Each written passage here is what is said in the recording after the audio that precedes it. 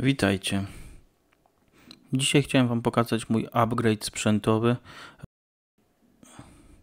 a mianowicie zakupiłem media moda do kamerki GoPro oraz mikrofony bezprzewodowe marki Boya. Nie będę robił żadnego e, unboxingu ani jakiejś prezentacji technicznej. O tych sprzętach jest już wiele filmików na YouTubie, można sobie wpisać, przeglądnąć. Ja skupię się tylko co dostajemy w zestawie. Króciutko pokażę, jak to wygląda i zrobimy też test w terenie. Dobra, to zobaczmy. Na biurku już mam wszystko rozłożone. Zacznijmy od Media Moda. Z kamerki GoPro ściągamy boczną klapkę, tą od strony baterii. Tu mamy też wyjście USB, które, którym wepniemy się do Media Moda. Media Moda rozpinamy. MediaMod posiada też wbudowany własny mikrofon, jednak no jest on troszkę lepszy niż e, oryginalny w GoPro, ale to mimo wszystko nie będzie to samo co dobry mikrofon zewnętrzny. A przede wszystkim jeśli będziemy trzymać gdzieś kamerkę dalej, no to ten dźwięk i tak będzie słabszy. Rozpinamy ramkę i stroną ściągniętą klapką wsuwamy do środka. Należy uważać też, jeśli macie założone szkło ochronne. Ja mam z przodu i z tyłu. Niestety to z tyłu musiałem ściągnąć, za mało było docięte i gdy założyłem Media Moda, no to po prostu przesunęło się, nie mogłem domknąć Media Moda, więc ja to szkło ochronne z tyłu z wyświetlacza usunąłem. Zamówię coś nowego. Jak przyjdzie, sprawdzi się, to podlinkuję w tym filmie, jakie szkło się sprawdziło. Obok wyświetlacza mamy zaślepki na wyjścia USB typu C, typu A, wyjście na mini jacka. Uszczelki się zamykają, więc nie są narażone na jakiś kurz zanieczyszczenia te wejścia. Dobrze, tutaj mamy zestaw boja. On przychodzi w takim pudełeczku. E, przezroczysta, przyciemniona szybka z wierzchu. Szybka może przesadziłem, bardziej z tworzywa sztucznego. Całe to opakowanie służy również jako ładowarka do naszych mikrofonów i bazy. Całe pudełeczko podpinamy przez złącze USB typu C. Z przodu mamy e, poziom naładowania postaci białych kropeczek. Wewnątrz znajduje się baza.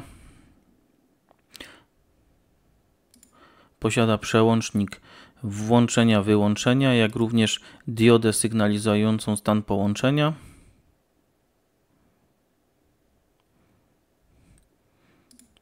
Bazę wpinamy do wejścia mini jack na media modzie. Wejście nie jest jakieś luźnie, dobrze spasowane. Baza siedzi stabilnie, nie ma obawy, że wypadnie podczas nagrywania. Na bazie znajduje się również przycisk włączania, wyłączenia, zapomniałem dodać. Tak samo jak przełącznik trybu nagrywania z mono stereo.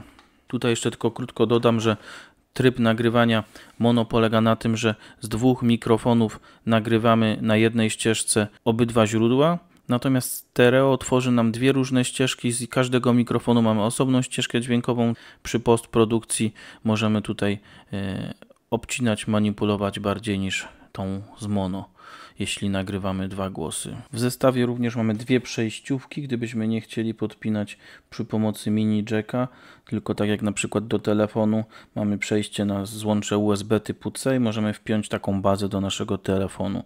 Również złącze USB typu A. Dalej w zestawie mamy te meszki ochraniające przed wiatrem. Są one montowane w sposób wpięcia i przekręcenia, co gwarantuje, że nie odpadną od mikrofonu, gdy będziemy się poruszać.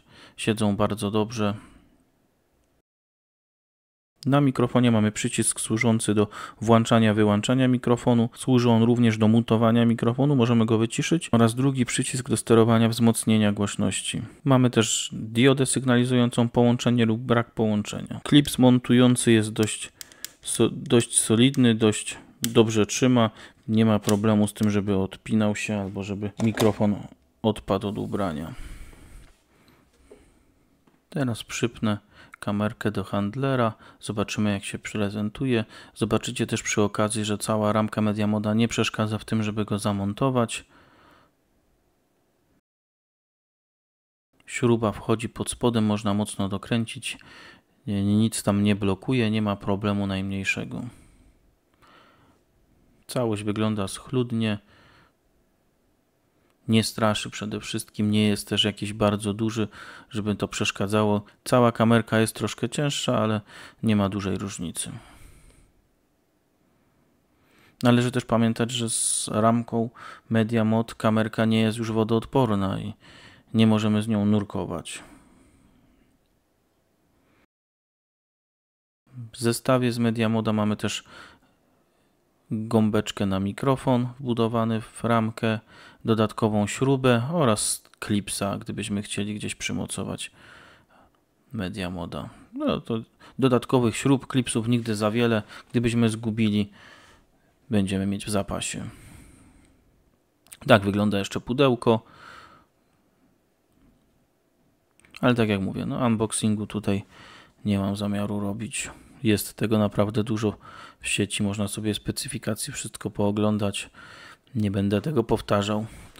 Dobrze. Myślę, że tutaj najważniejsze rzeczy pokazałem. Czas teraz przejść do testów w terenie i sprawdzić, czy faktycznie jakość tego dźwięku będzie dużo lepsza i jak radzi sobie też na wietrze.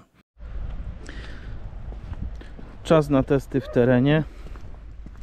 Mamy lekki wiaterek, więc będzie można idealnie przetestować, czy mikrofony się sprawdzają. Aktualnie nagrywam na mikrofonie wbudowanym w kamerkę, kamerkę GoPro. Wieje lekki wiaterek. Idziemy spacerkiem. Zobaczymy, czy będzie łapało wiatr. Z doświadczenia z Chorwacji wiem, że łapie ten wiatr i dość mocno to przeszkadza. Ciężko to potem w postprodukcji wyeliminować. Zobaczymy, jak będzie z mikrofonami. Dobra, to przełączmy się teraz na mikrofon Boja. Dobrze, założyliśmy teraz Media Moda. Do tego wpięliśmy mikrofon bezprzewodowy Boja. I zobaczymy jak teraz. Czy ten wiatr będzie też tak mocno słyszalny, czy może mikrofon spełni swoją rolę. Zobaczymy. Teraz zaczęło nawet jeszcze mocniej wiać niż przed chwilą, więc warunki będą takie naprawdę mocne, jeśli chodzi o test tego mikrofonu.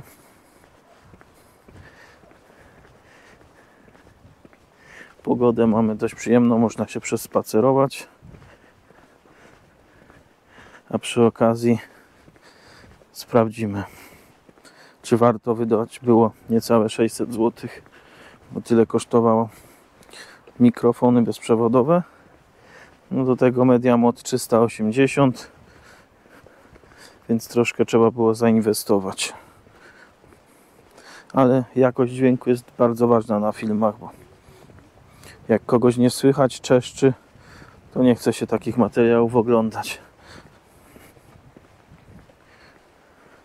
Wiadomo, że są też droższe mikrofony bezprzewodowe RODO czy z innych firm, ale na początek spróbujemy od czegoś tańszego, a może akurat sprawdzi w terenie. Zobaczymy.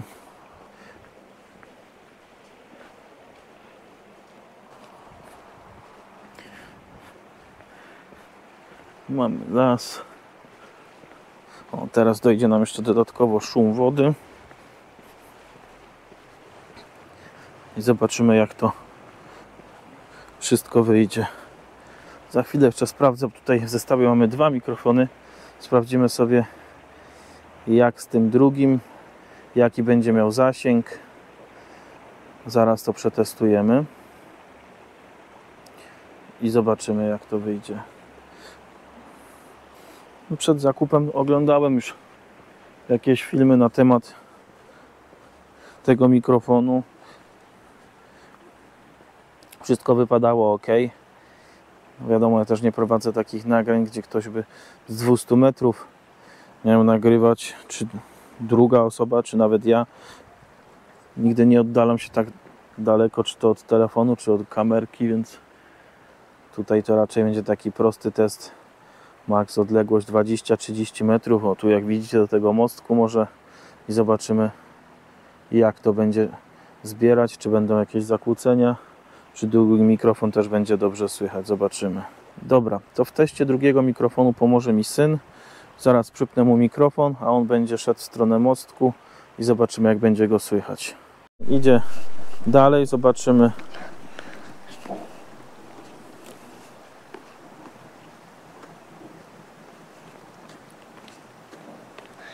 Raz, dwa, trzy, próba mikrofonu, jak mnie słychać. Dobra, idę dalej.